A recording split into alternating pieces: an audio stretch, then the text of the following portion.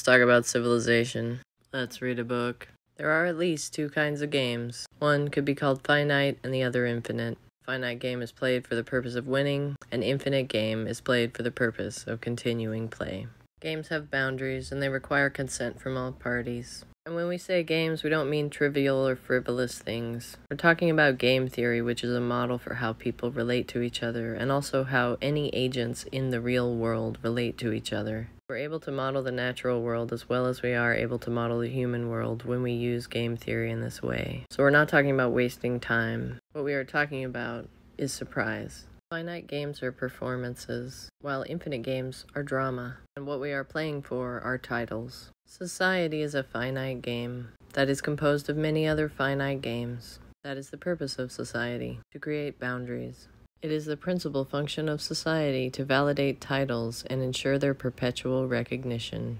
Society is a subset of culture. Society is what we must do to appease others, whereas culture is what we do through unrestricted choice. And culture cannot be authentic if held within the boundaries of a society. It is crucial that you forget these things, that you do not consider society to be something that you can opt out of, and you do so because of property.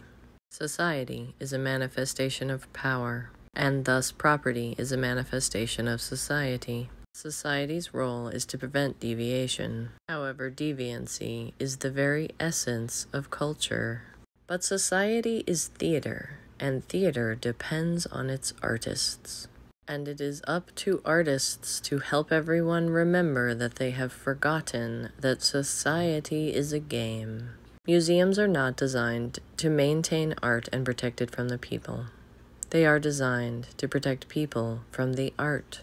And that is what TikTok is doing and why it is being banned. Because we have begun to question the lines that we have drawn, and we have started to take things less seriously. The primary memes of TikTok are time isn't real, and society isn't real, and money isn't real. It's far too much unconstrained art. Art with a message is propaganda. Not government propaganda, but propaganda nonetheless, definitionally. Art is a creation of possibilities. Artists do not create objects, but create by way of objects. Possessions cannot be art. Art is an opening, not a closing. NFTs cannot be art, definitionally. Nor can anything that you sell on Etsy. But AI art is art. Because art is not a skill. It is an action, not a product. It is not a profession. It is the rejection of any roles.